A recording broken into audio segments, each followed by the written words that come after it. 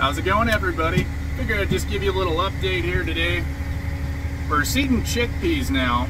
We got done with the triticale on field way down there past the green part, that's winter wheat. On the other side of that is where the triticale is. So we're on to the chickpeas now and we're going four miles an hour. I don't know if you can see that.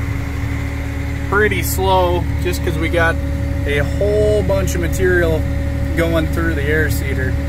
See 150, 50, 50, so yeah, 250 pounds of material running through that, all those little tubes and stuff.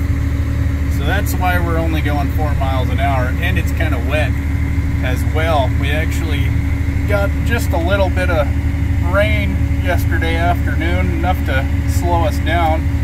Worked out great because my phone's been having issues for a while now.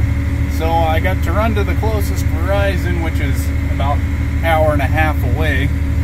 So drove there, got a new phone and some groceries and stuff, and then came back and fueled everything up and got it all serviced this morning, and then away we're going again and it's working pretty good but just kind of going pretty slow right now so.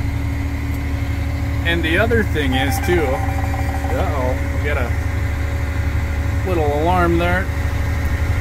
We're not just a John Deere farm here either. I don't know if we can focus in on that. Not really. I'll have to show it in another video.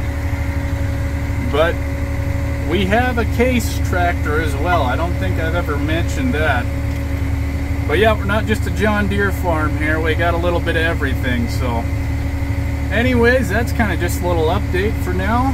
And I'll see you guys next time.